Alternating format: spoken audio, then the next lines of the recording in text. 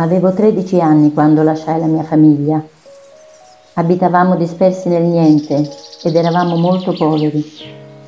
Mi mandarono a fare la paglia in una grande città di cui ignoravo il nome. Ignoravo completamente cosa ne sarebbe stato di me.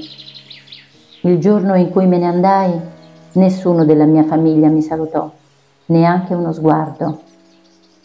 Ma non soffrii. Sapevo che non li avrei più rivisti e che li avrei presto dimenticati.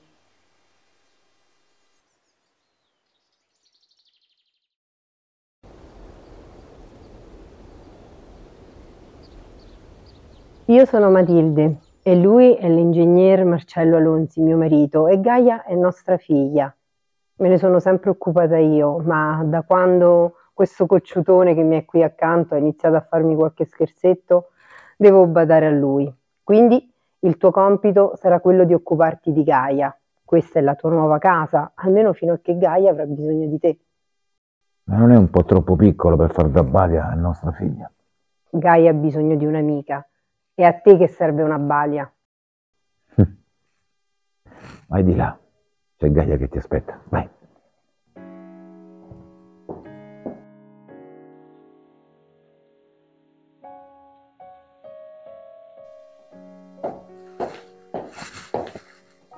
Ti chiami? Anna, Che bei capelli che hai. grazie, anche tu. Vieni a giocare con me in giardino?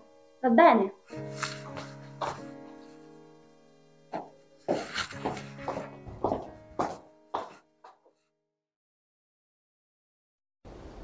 Non avevo alcuna esperienza di come si facesse la balia.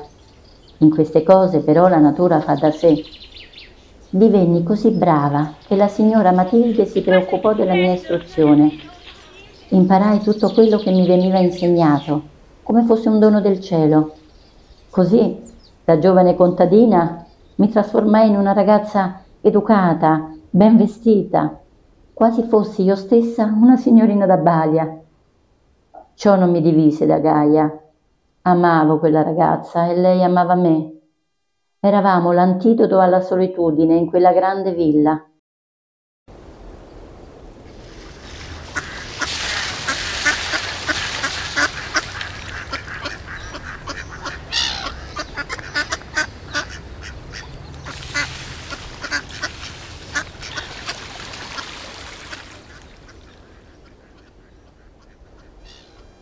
Ti voglio bene. Cosa? Ho detto che ti voglio bene. E lo voglio urlare. Ti voglio bene! Anche io! È incredibile come sia così facile e bello, e bello dirlo. Nell'inferno da cui provengo le uniche emozioni che si manifestano sono rabbia e depressione.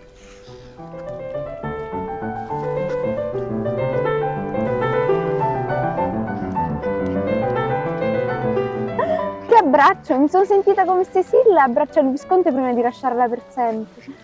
Dopo aver dormito con... Non credo che abbiano dormito quei due. E se non hanno dormito cosa hanno fatto? Non credo che su quel libro vi sia scritto.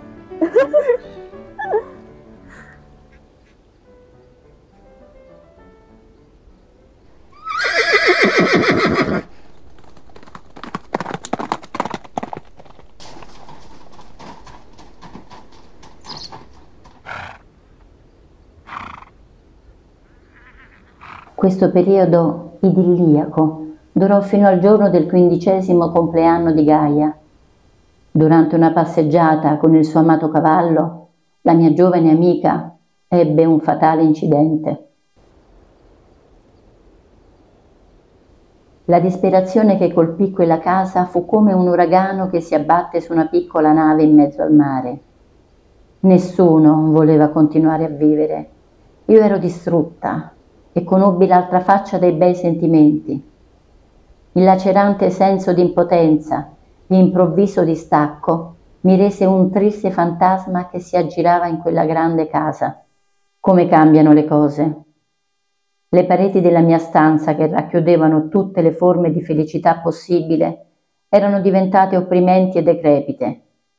Passavo le ore a pettinarmi, come se pettinassi la mia amica Gaia.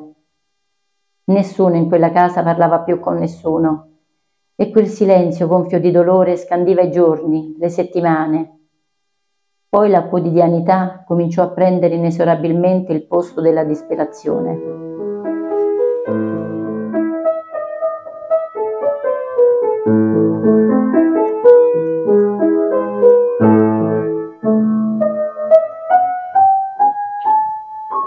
Signora Matilde, me ne vado. E dove credi di andare? Non lo so. Non posso trattenerti. Non posso più restare qui. Non posso, anche se non, non so cosa accadrà. Dalla mia famiglia di certo non andrò.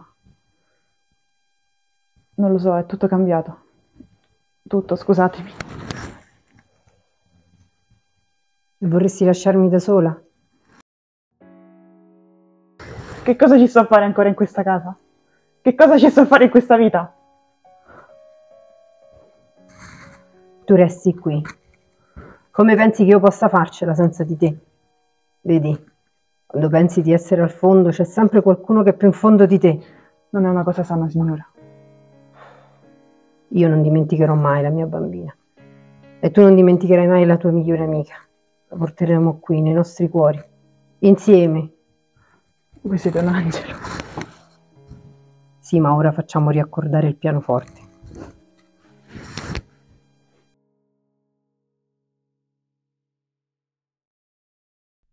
Fummo una per l'altra il punto di riferimento che tutti speriamo di trovare. Un anno dopo morì il signor Marcello. Ce l'aspettavamo, quindi c'era stato almeno il tempo di prepararsi e reagire a questo ennesimo schiaffo da parte della vita. Eravamo rimaste soltanto noi due. Toccò a me occuparmi di tutto, della servitù, degli approvvigionamenti. Da Balia ero diventata una governante.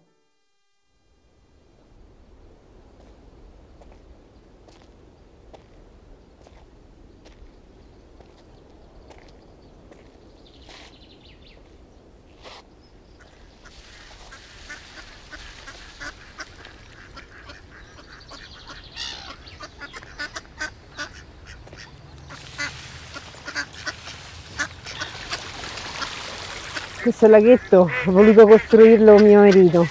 Ha sempre voluto che questa villa fosse un angolo di paradiso. E ci è riuscito. È bellissimo. Qui venivamo sempre con Gaia a farci il bagno. È giugno e se non fosse per il mal di schiena un bel bagno me lo farei anche io. L'età avanza anche per me.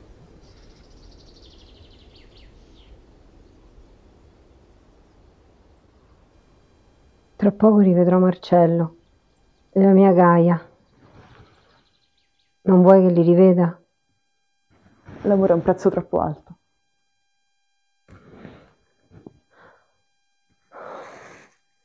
Quando è un amore come il nostro, nessun prezzo è troppo alto.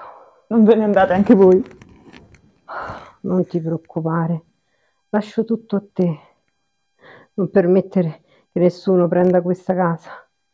I, i ricordi sono soltanto nostri.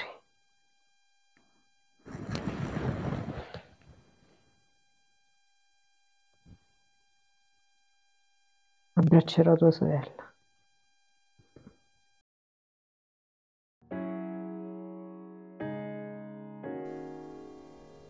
Ho avuto l'amore da chi non aveva alcun legame di sangue con me, mentre da quelli che la vita unisce solo odio.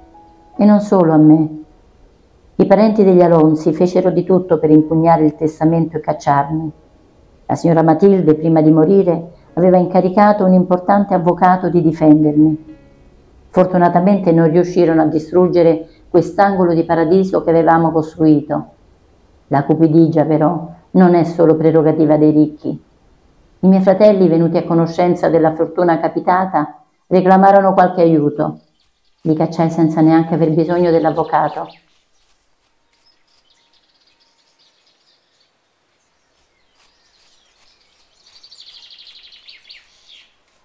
Ho voglia di fare una passeggiata. Domani ti racconterò di mio marito, di come la guerra me lo portò via. E L'unica cosa che mi ha lasciato è la donna che hai sposato. Bambini, Smettetela di correre! Dovresti assumere una baglia.